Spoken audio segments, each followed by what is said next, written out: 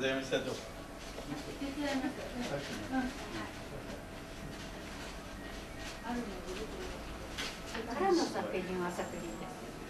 ど、うも、はい。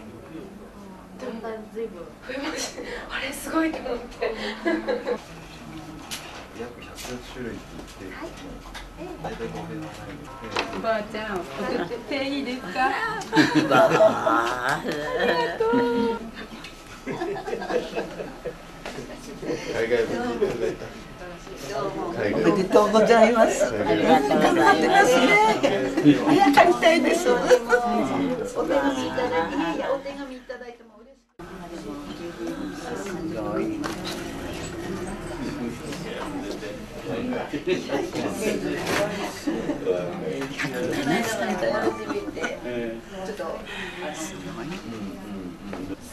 すごい。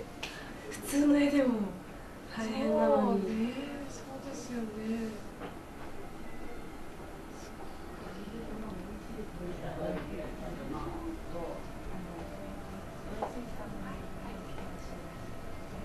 えっともう107歳の方のあの作家さんの作品ということでもう一つ一つがすごい力強くてパワーがもうこう溢れててすごく元気をいただきましたね。なんか自分ももっと頑張んなきゃって 思いました。一番ですか？へえ選べないですね。でもどれも素晴らしくてやっぱりでも観音様が一番素敵ですかね。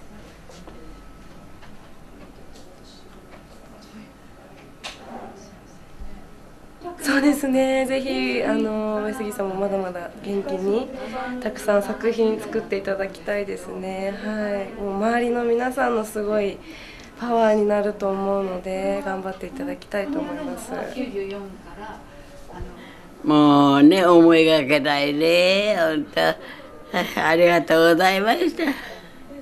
やっぱ何かあのすることがあると年取っておるとね他のことはできないだけどね、えーじっとしてるのも嫌だ。から裁縫をしたりね。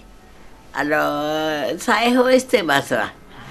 ほいで暇な時こんなのしますけどね。